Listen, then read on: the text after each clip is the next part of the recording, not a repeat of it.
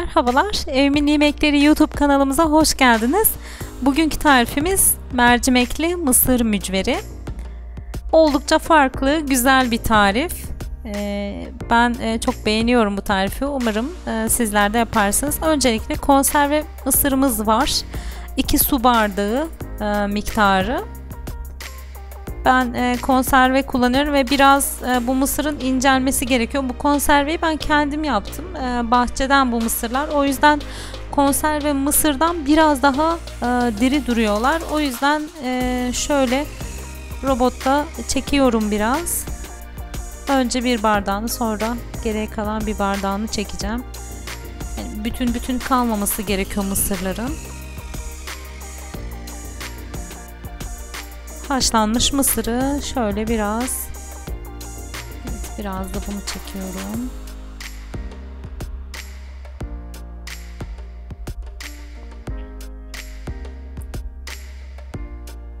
İki su bardağı haşlanmış mısırımız blenderda çekildi. Ee, bu arada e, mısırın içine iki diş de sarımsak koydum. Sarımsakları da mısırlarla beraber çektim. E, iki dişte sarımsağımız var.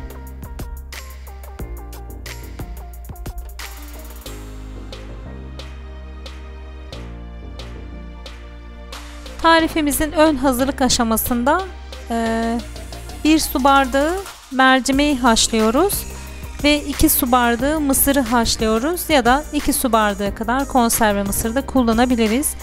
Yarım bağ dereotu var. Oldukça ince bir şekilde doğruyoruz. Kalın saplarını ayıklıyoruz dereotunun e, dip kısımlarını. 4 adet yeşil soğan ince ince doğranmış.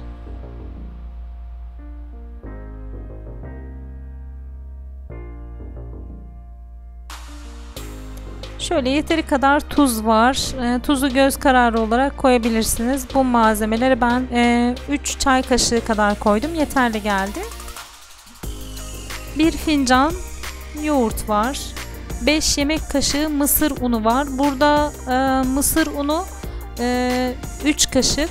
Ben yoğururken biraz daha karıştırırken e, ihtiyaç olduğunu fark ederek 2 kaşık daha ekledim. Toplamda 5 kaşık mısır unu bir yumurta, e, bir çay kaşığı karabiberim var. Bir çay kaşığı toz kırmızı biber var. Bir tatlı kaşığı salça ekliyoruz. Biber salçası da kullanabilirsiniz.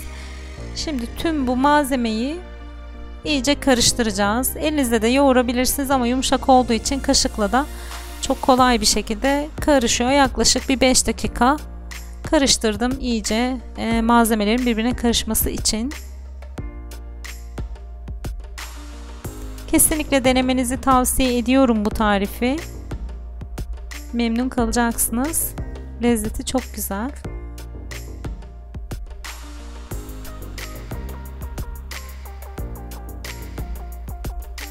Şöyle yapışmaz tavamda kızartacağım. Ee, yani fritözde falan da kızartabilirsiniz.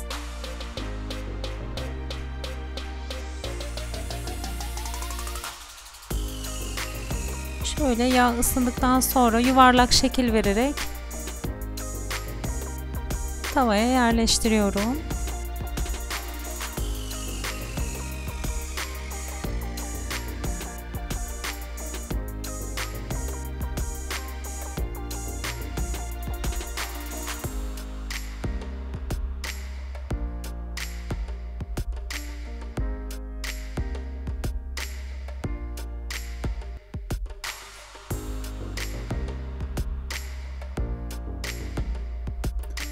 Evet bu şekilde altı üstü kızarana kadar çevirmeye devam ediyorum.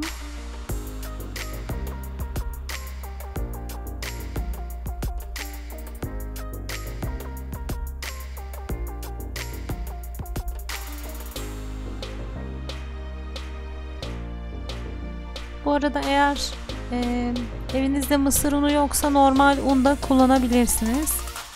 Mısır ununun e, Ayrıca bir özelliği yok. Evet şöyle yağlarını biraz süzerek alıyorum. Zaten çok yağ çekmiyor. Ee, kesinlikle o noktada içiniz rahat olabilir.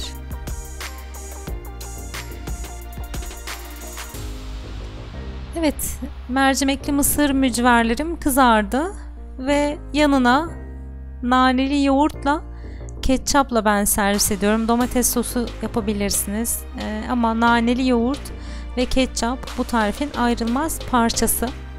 Deneyen herkese e, şimdiden afiyet olsun. E, umarım tarifim sofranıza mutluluk katar. Sizden ricam kanalıma abone olmayı ve bildirimleri almak için zil ikonuna tıklamayı unutmayın. Tarifimizle ilgili yorum, görüş ve önerilerinizi yorumlar bölümünde yazmayı ihmal etmeyin sizden ricam. İzlediğiniz için teşekkür ediyorum. İyi günler diliyorum.